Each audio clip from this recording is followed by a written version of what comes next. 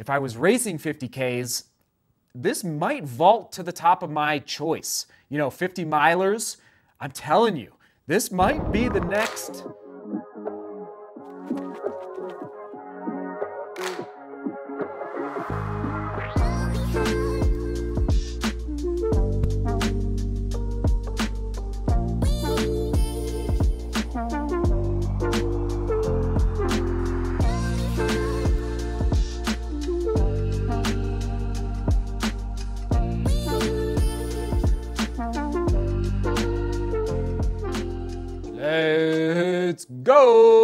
Saucony Endorphin Edge, the pink trail monster, in for testing. Well, actually, it's all done. We have made it. There it is on your screen, past the 25 mile mark and 2,500 feet of vertical gain and loss. Gain and loss. All right, everybody, there you have it. Okay, where are we going here? Oh, yeah, stack height. There's the stack height on pretty high stack height for a trail shoe. All right, keep that in mind in case you are prone to rolling ankles. All right, just don't just want to put that out there at the beginning. Women's size 8, men's size 9 on your screen. In my size, did I mention this is a neutral trail?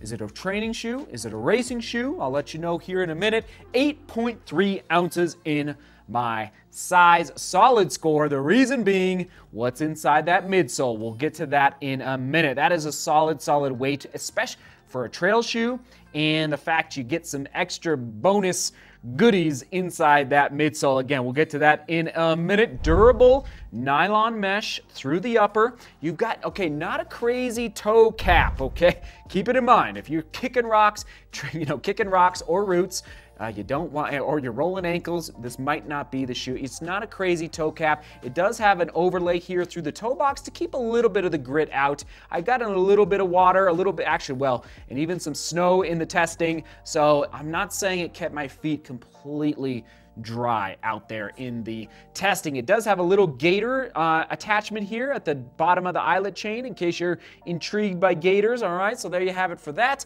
It does have a pull tab at the back. Let's see. Oh yeah, I think it's semi-gusset. Yes, semi-gusset for the tongue, which did help the lockdown score. Oh yeah, I'm remembering. Oh, this is interesting. Okay, so I'm remembering to um, mention where shoes are made, barely. I'm trying to remember to do this for all of you because I, I, respect that. I, if you want to know where your shoes are made, I respect that you want you're curious about that. So this is made in Vietnam. All right, so there you have it. All right, and if, as always, let us know if you're watching in Vietnam. Okay, that is awesome. Here we go. Um, on to the overall score 7.5 out of 10. Now, the reason the overall score for the upper isn't a little higher is the heel counter. I just, ooh, now, I love the weights, great job, but I think we could just beef up just a little more padding, just a smidge through on probably on the inside of the heel counter to help lock that heel in just a little bit more. I would really love it, Saucony.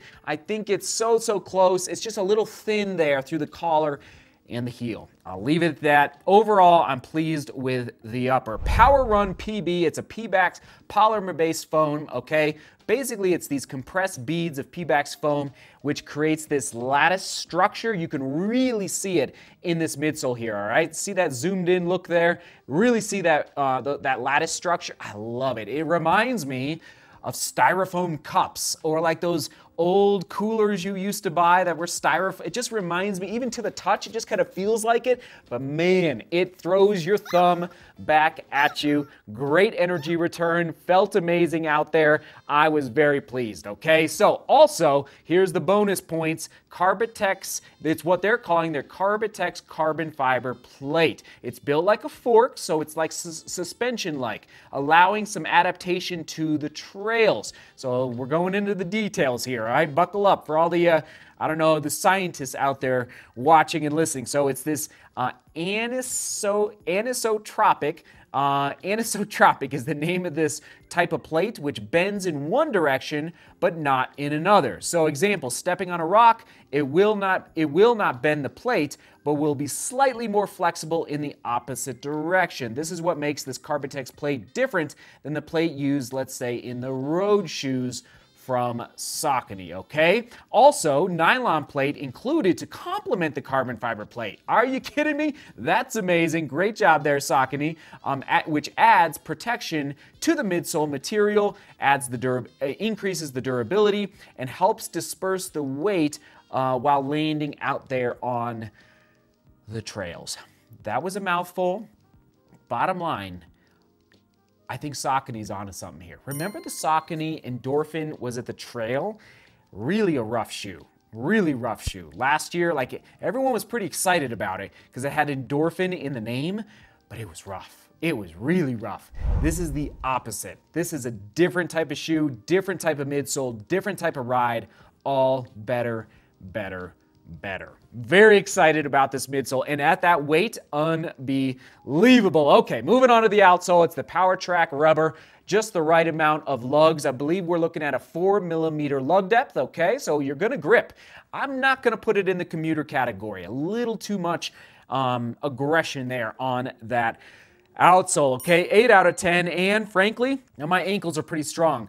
But I think, you know, even though we're past the 25 miles for the testing, I'm not going to be afraid to take the shoe up the 14ers here in Colorado by any means. I'm very excited to get this shoe into the high country and take it up some, you know, mostly because of that outsole grip. It is going to grip for you in some pretty serious conditions. Fit true to size, Ooh, this is one of the reasons. Well, oh, okay, I'll save that. I think that I think I, I almost. Let me just make sure. Yeah, it is true to size. I almost wish I would have gone a half size down. Now, maybe with really, well, not really, but thicker socks, that would help. But I felt a little bit of too much room through the toe box. Not, not crazy. I'd probably recommend going true to size, but especially for climbing big mountains, I like to be secure in the shoe. So keep it in mind maybe a little too much room for my liking in the toe box. Comfort score 8 out of 10, mostly because of the midsole. Unbelievable. 4 to 500 on that durability. I wish it could be higher, but I think that Power Run PB in a trail shoe it's gonna it's gonna break down. It's just there's no but you get the benefit of that bounce and energy. Oh goodness gracious. Okay, how will I use this shoe? Tweener alert! Tweener alert! If I was racing 50ks, this might vault to the top of my choice. You know, 50 milers, I'm telling you, this might be the next.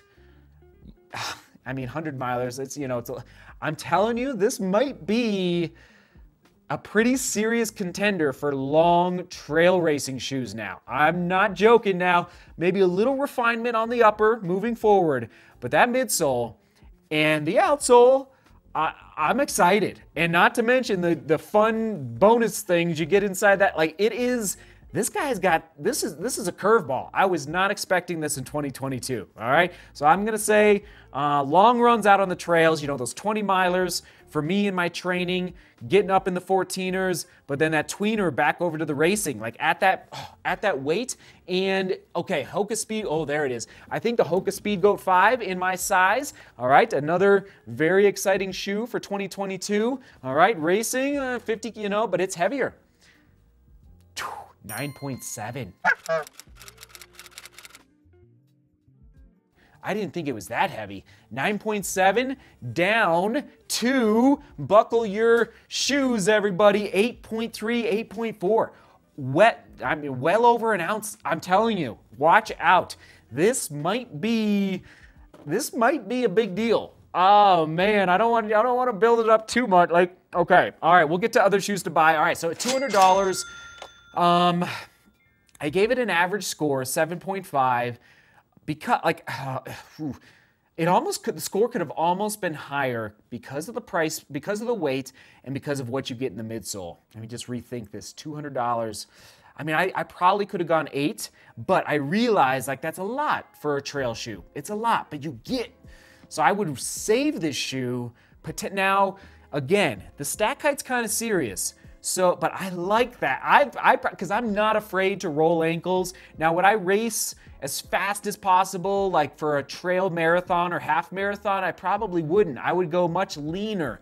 But when you start going past like the three and a half, four hour, four and a half uh, hour mark, and your legs start barking at you, you want a little bit of forgiveness under step. I do at least. I want to baby my legs, and that is what you're getting in this guy right here. There you have it. Other shoes to buy uh, Speedgoat 5, Ultra Glide, and crazy enough, much, much heavier, but it's kind of in that same More Trail V2 coming in at 10.2 ounces. So this is not a racing shoe, two ounces heavier. But as far as like softness under step and just a little bit of cushion, that More Trail V2 was a good one as well. Oh, can you tell I'm kind of excited? Woo! Other shoes to buy. There you have it. Shoe quick specs for the Saucony Endorphin Edge. Saucony, Am I getting that right? Saucony Endorphin Edge. There you have it. Six millimeters, 8.4 ounces in my size.